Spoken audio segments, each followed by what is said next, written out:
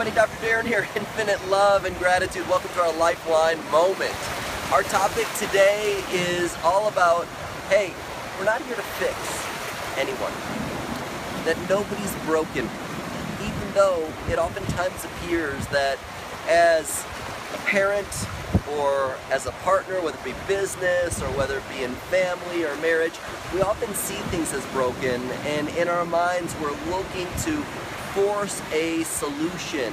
And enforcing a solution, it does nothing for the solution whatsoever, and we find ourselves cycling in patterns. We're stuck and we struggle.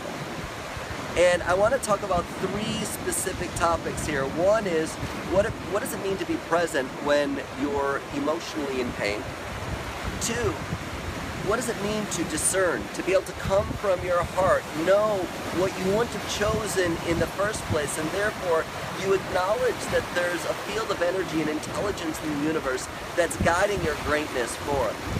And third, what does it mean to grab the sail and then harness that wind of your passion to move forward in your life?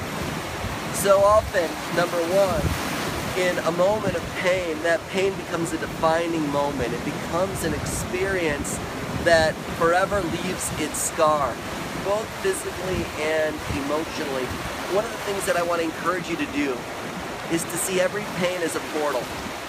To rather than looking at life as a failure because this didn't happen or this did happen or that you need to fix anything, look at life as feedback.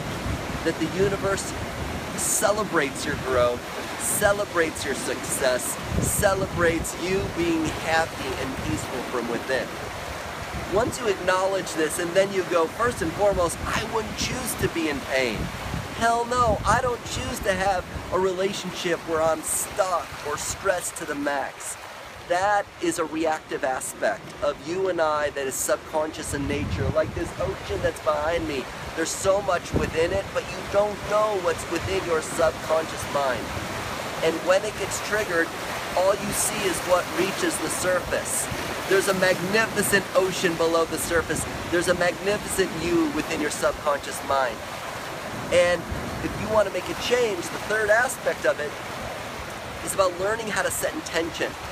For those of you that have ever been sailing or seen a sailboat where you've got, you're waiting for the wind, you're waiting for the wind, you're going for your destination, you want to only focus on what's going to fill your sail with wind and move you towards what your heart authentically and genuinely desires in your life rather than thinking, I need to get away from that or avoid this.